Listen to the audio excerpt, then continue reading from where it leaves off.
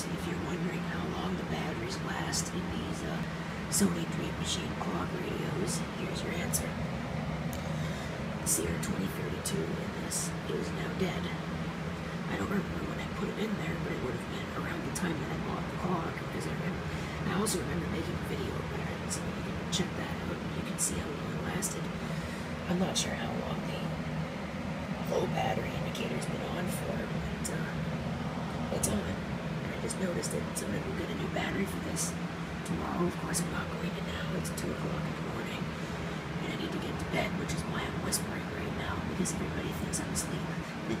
Actually, I think everybody else is asleep too, so you. I haven't showed off my display yet, but I put all these clocks here now, so I have now another display. I actually bought a, uh, over here, I bought a, uh, this is a metal six port power strip with one open port still, so working out well. Alright.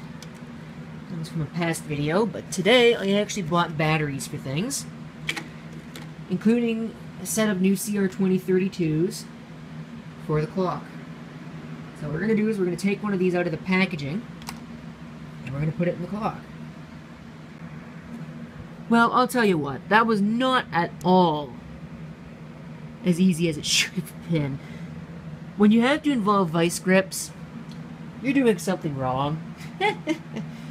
I don't like their new packaging. I don't know how you're supposed to get that apart, but I got it apart with the use of a nail clipper and vice grips. Nothing but the finest. So here it is, the old battery. I don't know if this is original to the unit or not. Of course, I probably will not be able to get any focus on it. There we go. It is a CR2032, and I dropped it on the floor like a boss. So we'll have to see about getting that out of there and getting a new one in.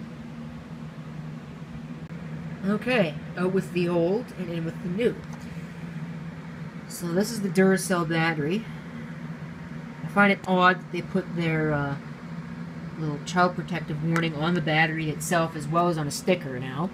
I guess they've been having problems with children eating batteries recently, coin cells. But uh, let's go ahead and put this back in the clock. If I can do that without making a fool of myself. There's a button I'm supposed to push. I believe... I can find it. There we go. I got it. So, now it's ready to go. I apologize in advance for this not being the most interesting video in the world, but I figure that, uh, you know, I'm interested in seeing how long batteries last. So I figured that this will be, if nothing else, it'll be a time capsule, and it will also be a, a marker for me to see just how long this lasted. In the interest of full disclosure, this battery probably could have lasted longer. That clock has been sitting unused for several months, actually, because I've just had nowhere to put it. And I've replaced it with uh, numerous other and better clocks, because I don't really like that one. The display is dim, as you can probably tell in the video, and that's its highest display setting, believe it or not. It used to be a whole lot brighter, but now it's just kind of not.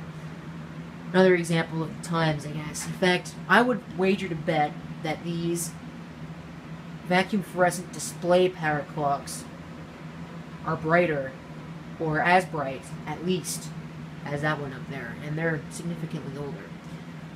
But either way, there you go. Battery's been changed, and there's your clock video for those of you who have wanted clock videos, even though there's a lot of them coming up.